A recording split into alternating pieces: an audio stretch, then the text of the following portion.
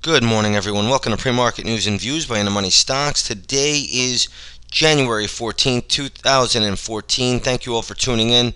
Let's jump right into the charts here. We're going to start off with the usual S&P 500 E-mini futures. And what you'll see here is that the futures are trading a little bit higher today by about $3.75 to around 18, uh, 75 per contract. So either way you slice it or dice, a little bit of an uptick in the futures market ahead of the opening bell. Yesterday, uh, the S&P 500 was just trampled, as well as the Dow Jones Industrial Average and the Nasdaq Composite. Uh, the Russell 2000 was also down very, very sharply yesterday. So, um, markets really coming under pretty good pressure yesterday across the really across the board and a broad-based decline. Today, it's trying to rebound a little bit. Um, I'm not sure what we can make out of today's action. It might be a little bit more subdued. Generally, after a big uh, sell-off day, the next trading day is a little bit more on the quiet side. So we'll see how this plays out. Now, looking over across uh, the Asian market last night, you do want to take a look at the Nikkei 225 index. This was hit really, really hit hard yes uh, last night, down over three percent. So this looks like it's destined to get down to around that 15,000 level. But uh, either way you slice it or dice it right now, uh, pretty good decline uh, coming out of uh, the Nikkei 225 index. And don't forget, um, that has been one of the most important indexes that anybody can follow.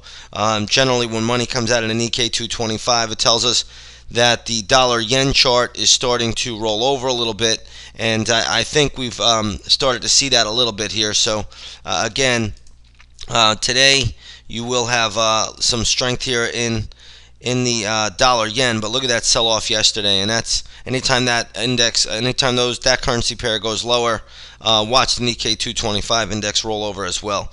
All right, let's get back to um, to the S&P here, and let's look at some other stocks in the news today.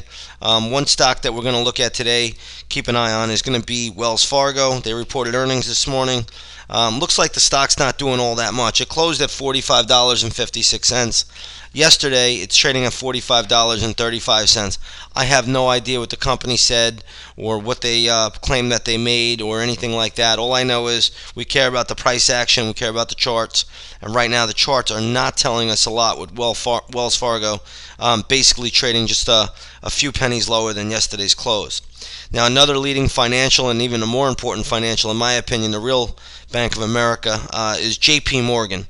Uh, JPM reported earnings today as well. The stock now is trading at around $58. It closed at 57.70. So this is just another giant financial company uh, reporting earnings and um, really not getting much of a reaction. I'm not sure if the uh, Jamie Dimon earnings call has gone on yet uh, for J.P. Morgan, but I do believe it's about to start at 8:30 or 8:35 or something uh, along those lines.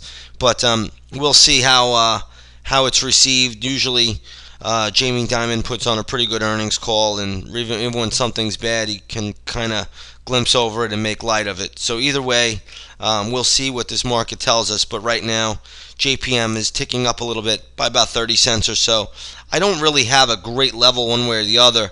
Um, a level where I would watch for a stock bounce on JP Morgan today if it does sell off would be at around the $55.35 level. I think that's where traders, day traders, can look for an, a nice intraday bounce. Unless that happens, there really is no play out here, at least right now. We'd have to watch for chart pattern developing um, along along the course of the day. Right now, it's just too difficult to see it. Um, same goes for Wells Fargo. The only level I would really get interested in Wells Fargo today would be around $43.75. That's where I would be a buyer for a scalp trade or a day trade. Um, not a longer term trade, but uh, either way. So those are two levels you got: one for J.P. Morgan, one for Wells Fargo. If if and should price trade down to those levels right now, um, these stocks are holding up fine. They're they're really not in danger of getting down there. But you never know after the opening bell or after an earnings conference um, what can happen. Let's take a look at TWC, which is Time Warner Corporation. Looks like they turned down a bid. I think the third bid from Charter Communications for a takeover. Uh, right now, the stock's trading at 134.40. It closed at 132.40. Um, I think they're leaning more towards a $150 bid, so you never know that that may be possible down the road. Um, but either way, be careful with this thing. Uh, if you own it, you just trail your stop loss because they're still in a bidding war here.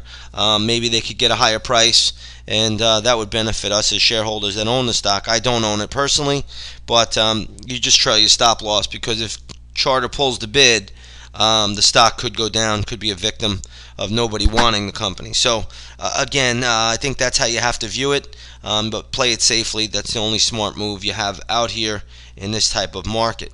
Um, looking over just a, a, few more things today, I believe earnings season is really going to start heating up. So, traders, make sure if you're swing trading anything, make sure you check for earnings. Um, this coming Friday is also going to be options expiration for the month of January. It's going to be the monthly expiration, so you want to be a little bit on guard that there will be a lot of game playing this week.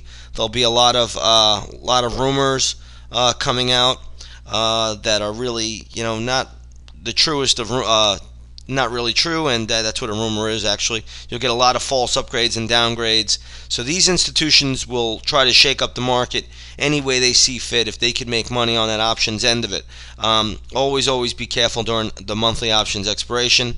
It's a time of whipsaw, and it's a time when you're going to get a lot of game playing done by these uh, big institutions that you know know where the bets have been placed in the option market. Um, let's take a look at oil this morning and gold. Right now, I'm seeing oil up about 33 cents.